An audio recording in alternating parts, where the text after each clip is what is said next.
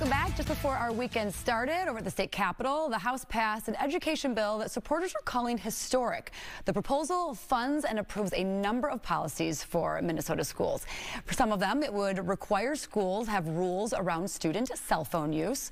Also, schools would educate students on mental health from grades four all the way through senior graduation. School boards will have an option to implement a four-day school week. It also protects school newspapers from censorship concerns.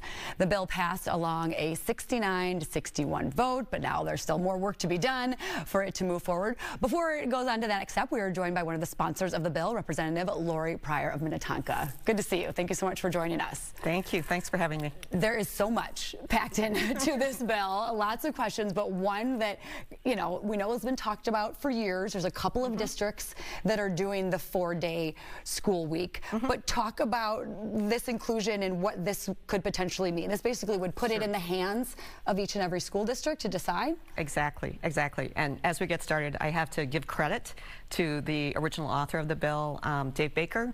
Um, and he, he has a school district um, that's interested in following up and, and trying out and thinking about this four-day school week.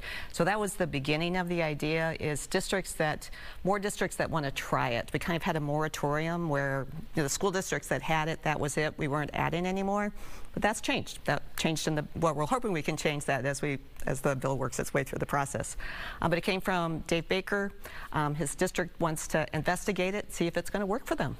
And there's various reasons. I mean, this is kind of something that has been talked about for a long time. There's about mm -hmm. six districts across the state that are exactly. already doing it, and they had to get uh, kind of special um, uh, permission from the Department of Education. But talk about some of the mm -hmm. reasons, because sure. for a lot of us and a lot, a lot of people, oh gosh, that sounds really would rock my world if my kids right. went to a four-day school right. week. Right, and it, it, does come to what we've learned um, when schools were virtual and, and kids were at home. It's like school's more than education. School is also care. I mean, it's daycare during the day for parents, and when you don't have that available, you know, that's an issue. Um, but the school districts that this works for, they plan for that. Um, and mostly it's the school districts in rural areas where kids are spending so much time on the bus every week. And you can imagine that if it's five days a week and you're on the bus for an hour and a half, I mean, that's not education and that's not even good care either, um, not good student time. So the districts that are using it have longer school days, and then they have to make provisions for that day off. And it turns out districts that have it, they love that day off. Families love the day off. Teachers love the day off. Um, it gives it flexibility and um, opportunities for what's available for those those Fridays where you don't have to ride a bus to school. Yeah. Another element of it is the the mental health education mm -hmm. for fourth grade all the way up to to 12th graders. Talk about what that would entail. Right. So we know that right now school districts are probably doing something about mental health, but we really wanted to make sure that all school districts have this as part of the curriculum.